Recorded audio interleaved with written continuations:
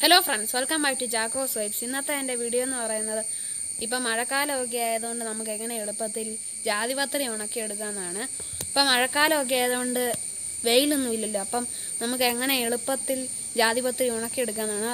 അത് എങ്ങനെ എന്റെ ഗ്രാൻഡ് ഫാദർ എക്സ്പ്ലെയിൻ ചെയ്ത് തരുന്നതായിരിക്കും. അപ്പോൾ നമുക്ക് വീഡിയോയിലേക്ക് പോകാം.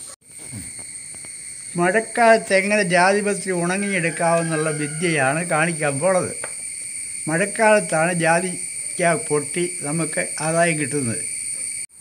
നമ്മൾ ഫ്ലവർ പത്രി ഉണ്ടാക്കാൻ നമ്മൾ നല്ല ഒരു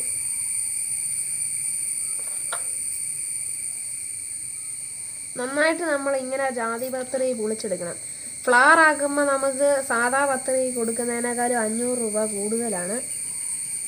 നമ്മൾ എന്നിട്ട് പൊട്ടി ചെ- കീറിപ്പോയ ചില ജാതിപത്രിയുടെ പീസുകൾ നമ്മൾ നന്നായിട്ടിരിക്കുന്ന ജാതിപത്രിയുടെ പീസിനകത്തോട്ട് വെച്ചിട്ട് നമ്മളിങ്ങനെ അതിന്റെ അറ്റം തിന്ന് മുറുക്കി കൊടുത്താൽ മതി. ഇതാണ് ഫ്ലവർ പത്രി. നമ്മളിപ്പോൾ ഇത്രയും ഫ്ലവർ പത്രി ആക്കി എടുത്തിട്ടുണ്ട്. ഇനി ഇത് ഉണങ്ങുന്നതൊക്കെ എന്റെ ഗ്രാൻഡ് ഫാദർ എക്സ്പ്ലെയിൻ ചെയ്ത് തരും. നമ്മളങ്ങനെ മൊത്തം ഫ്ലവർ പത്രയാക്കി എടുത്തിട്ടുണ്ട്. ഇത് ഇനി ഉണക്കുന്ന എന്റെ ഗ്രാൻഡ് ഫാദർ എക്സ്പ്ലെയിൻ ചെയ്തു തരുന്നതായിരിക്കും. ഇനി മഴക്കാലത്ത് നമ്മൾ പത്രി ഉണങ്ങിയെടുക്കുന്ന ഒരു വിദ്യയാണ് കാണിക്കാൻ പോകുന്നത്. തടി കൊണ്ടുള്ള ഒരു പെട്ടി ഇങ്ങനെ ഉണ്ടാക്കണം. മുപ്പത് സെന്റിമീറ്റർ നീളവും അമ്പത് സെന്റി അമ്പത് സെന്റിമീറ്റർ നീളവും മുപ്പത് സെന്റിമീറ്റർ പൊക്കം മുപ്പത് സെന്റിമീറ്റർ വീതി. അങ്ങനെ ഒരു ബോക്സ് ഉണ്ടാക്കുക തടി കൊണ്ട്. അതിനുശേഷം അതിലൊതുങ്ങുന്ന ഒരു പല കഷ്ണത്തെ രണ്ട് ബൾബ് ഫിറ്റ് ചെയ്യുക. ഹോൾഡർ ഇത് ബൾബ് ഇടുക. അത് ഇതിലേക്ക് ഇറക്കി കൊടുക്കണം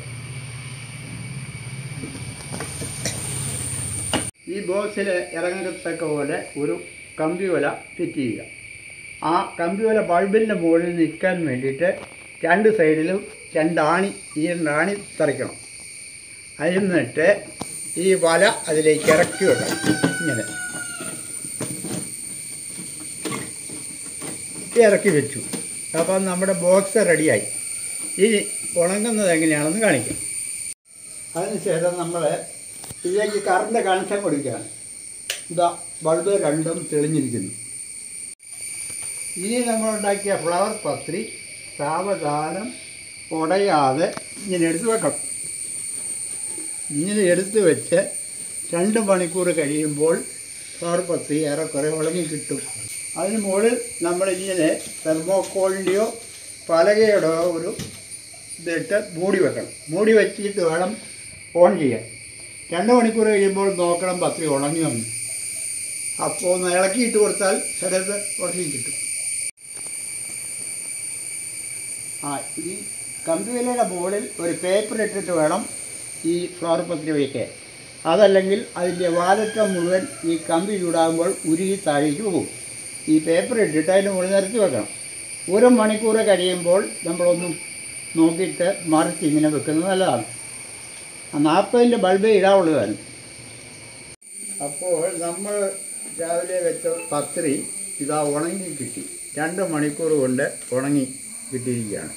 ഇനി ഇതെടുത്ത് നമ്മൾ ബോക്സിൽ ഭദ്രമായിട്ട് ഇട്ട് വെച്ചാൽ മതി. പത്രി ഉണങ്ങിയ പത്രി സൂക്ഷിച്ച് വെക്കുന്നത് എങ്ങനെയാണെന്നുള്ളത് കാണിക്കാൻ പോവുകയാണ്. പെയിന്റ് ബക്കറ്റ് എടുക്കുക. അതിനകത്തൊരു കറുത്ത സഞ്ചി ഇറക്കുക എന്നിട്ട് ഈ ഉണങ്ങിയ പത്രി ഇതുപോലെ ഇട്ട് വെക്കുക. എന്നിട്ട് അടച്ചു വെച്ച് കഴിഞ്ഞാൽ ഭദ്രമായിട്ടിരുന്നോളൂ. ഇതാണ് ഉണങ്ങിയ പത്രി.